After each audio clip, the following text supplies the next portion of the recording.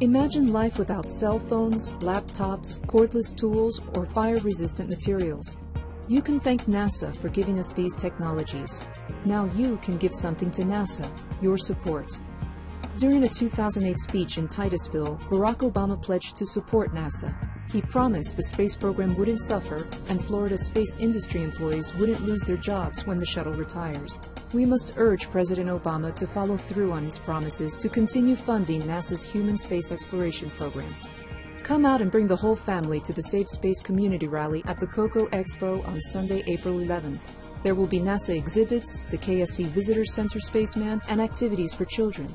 Speakers will include Senator George LeMieux, Congresswoman Suzanne Kosmas, Congressman Bill Posey, Lieutenant Governor Jeff Kottkamp, and real live astronauts. Doors open at 3 o'clock. The program begins at 4.